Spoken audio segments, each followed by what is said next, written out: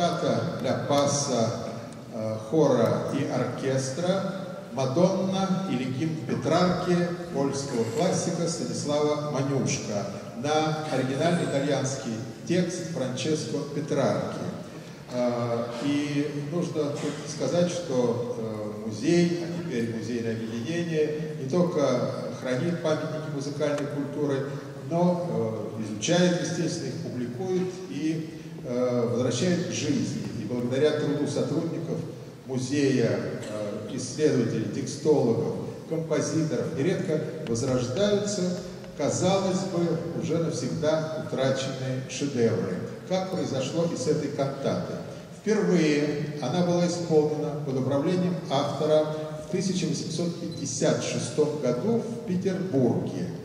А после смерти э, Станислава Ванюшки черновая партитура произведения была вдовой композитора благодарность подарена Николаю Рубинштейну. И так рукопись Мадонны попала в Москву, а затем и в собрание музея. И любопытна история ее э, публикации уже в наше время. Потому что, готовя к сочинению к первому изданию, э, сотрудник музея, композитор э, Ирина Николаевна Иордан смогла не только расшифровать черновик, а там были весьма сложные текстологические места, но и восстановить утраченную первую страницу рукописи, ибо она обнаружила отпечатки этой страницы на предшествующей титульной странице и, э, пользуясь отражением в зеркале, смогла э, восстановить этот э, текст, и тем самым э,